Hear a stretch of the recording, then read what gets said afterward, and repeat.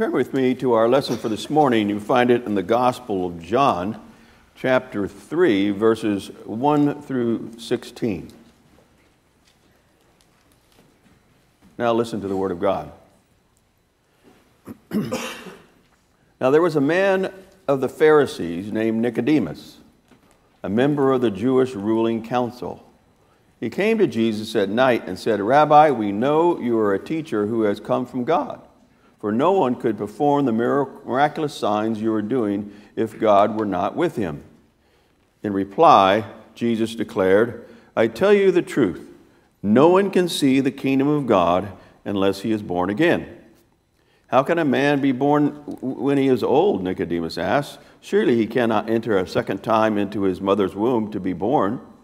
And Jesus answered, I tell you the truth. No one can enter the kingdom of God unless he is born of water and the Spirit. Flesh gives birth to flesh, but the Spirit gives birth to spirit. You should not be surprised at my saying, You must be born again. The wind blows wherever it pleases. You hear its sound, but you cannot tell where it comes from or where it is going. So it is with everyone born of the Spirit. How can this be? Nicodemus asked. You are Israel's teacher, said Jesus, and do you not understand these things? I tell you the truth. We speak of what we know, and we testify to what we have seen, but still you people do not accept our testimony. I have spoken to you of earthly things, and you do not believe. How then will you believe if I speak of heavenly things? No one has ever gone into heaven except the one who came from heaven, the Son of Man. Just as Moses lifted up the snake in the desert, so the Son of Man must be lifted up, that everyone who believes in him may have eternal life. For God so loved the world that he gave his one and only Son, that whoever believes in him shall not perish, but have eternal life. So ends the reading of God's holy word. Let us pray. Gracious God, we ask for your understanding, your wisdom. Open our hearts to your message.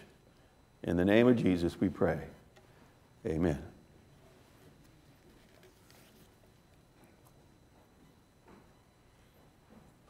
For the most part, when we read stories about Jesus, we recognize that he's surrounded by ordinary people.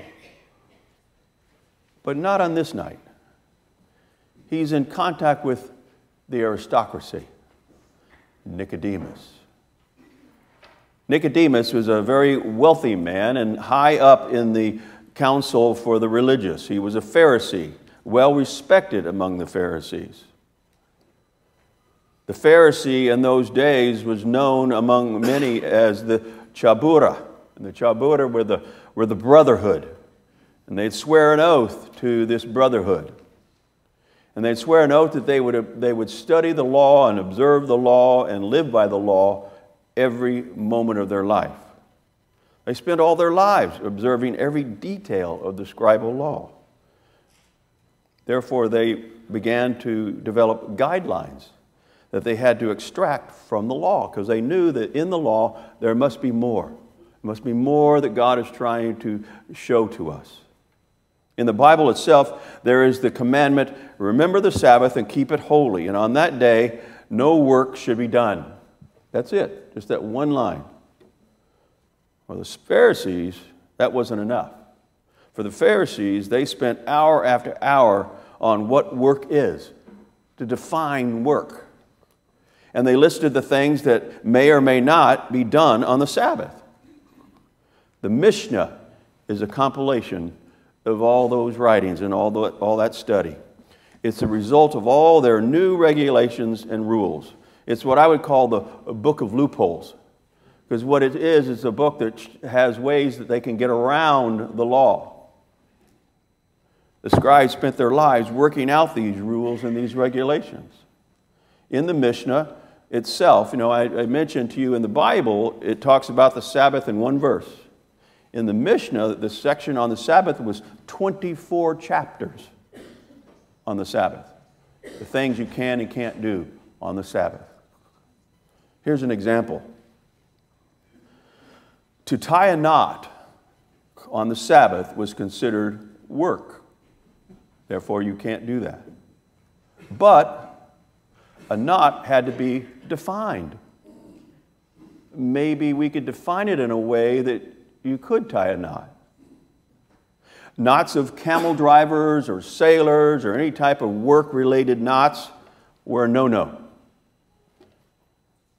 Tying them or untying them, not acceptable. But knots that could be tied or untied by a single hand was legal. So if you could tie a knot or untie a knot with one hand, it's legal. Also, a woman may tie up a slit in her dress or the strings in her cap and those of her girdle. That's acceptable. She could also uh, tie her straps of her shoes or her sandals. But a man who wanted to let down a bucket into a well could not tie a rope to it. But, get this, he could tie it to a woman's girdle and let it down because a knot in a girdle was totally legal. I don't know if the woman would want a bucket tied to her girdle, but this is the man that Jesus is encountering. A man whose life was filled with rules and regulations on how to fulfill the law. The name Pharisee itself means the separated one. The Pharisees were those who separated themselves from ordinary life in order to keep every detail of the law. So it is interesting that a man like Nicodemus would want to even talk with Jesus. It's amazing that this distinguished religious leader would have anything to do with him. But obviously, he was curious. And he came in the night so that no one would know that he met Jesus. He secretly wanted to question him.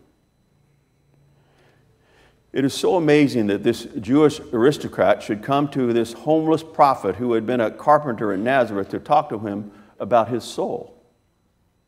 It is a miracle of grace that Nicodemus overcame his prejudices, his upbringing, and his whole view of life enough to come and see Jesus.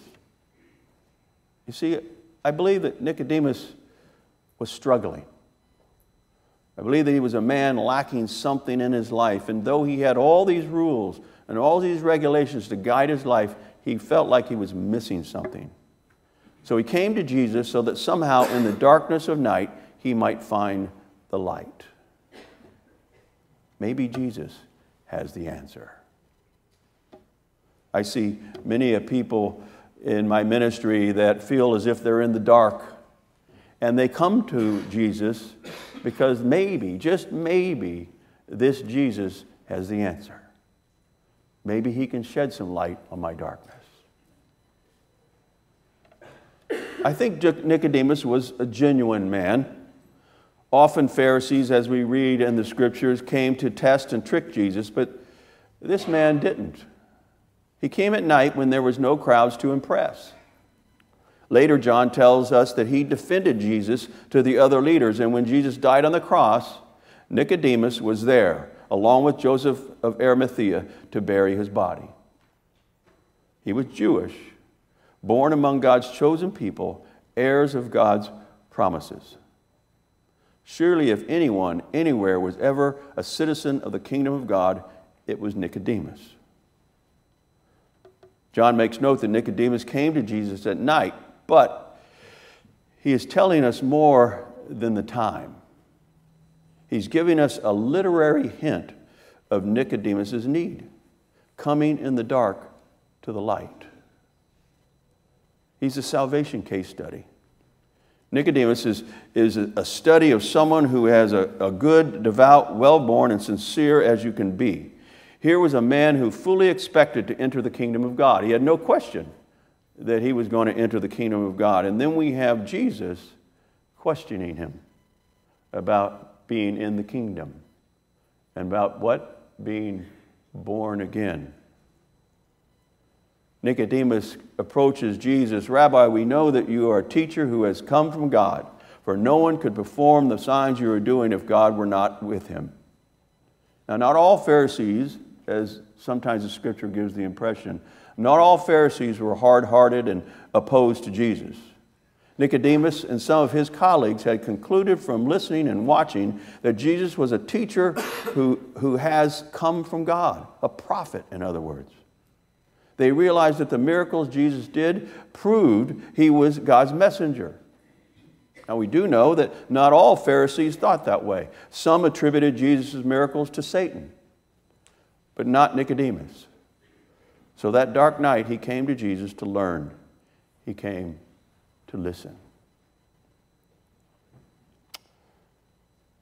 In verse 3, Jesus begins his reply to Nicodemus with a kind of alert. He says, Truly I tell you, and it signals that Nicodemus should take what Jesus is going to say very seriously. Truly I tell you. Then Jesus tells him that no one can see the kingdom of God unless they are born again. This language came out of the blue to Nicodemus. As a man who was thoroughly acquainted with the Old Testament and who was talking to a rabbi, Nicodemus was surely scrambling to think of a, a cross reference somewhere in the scriptures born again. There isn't a phrase born again.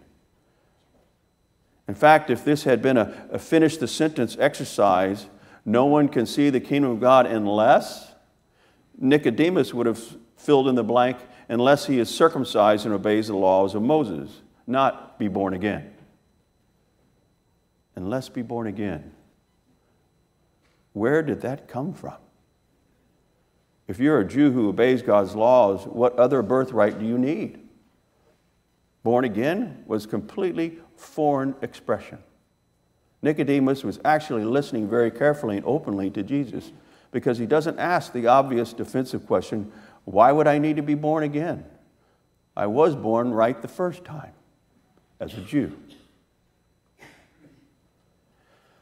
But what he does ask in verse 4 is actually a much deeper question How can someone be born when they are old? And Nicodemus, then asks, Surely they cannot enter a second time into their mother's womb to be born. Now, Nicodemus was not being silly and he wasn't trying to poke fun. What he thought he heard Jesus say was that the only hope of entering God's kingdom was a biological redo. And that, of course, is impossible. And that spun his whole world around. But think about it our whole culture is used to this phrase, born again. We use it to indicate any fresh start or a new beginning or a remake or a second chance. We're born again. I got a shot again. And for all of those who are Cub fans, it's like the Cubs have been born again. So if he had been talking to us, Jesus might have laid the emphasis carefully to be sure we understood. No one can see the kingdom of God unless they are born a second time not metaphorically, but literally born a second time. A person needs to be born again in order to see the kingdom of God. The Jews believed that the reward of a righteous life would be to enter God's kingdom at the end of the age. And Jesus turns that upside down. He's basically saying that you actually could be born again now and see the kingdom of God now. You don't have to wait till the end. The shock here is that the only way anyone sees God's kingdom now or ever is to be born into it. Yet no one who has been born once qualifies. To be born twice. John has prepared us for this opening verse, for this opening in verses of the gospel. Listen to these words. Yet to all who did receive him, to those who believed in his name, he gave the right to become children of God.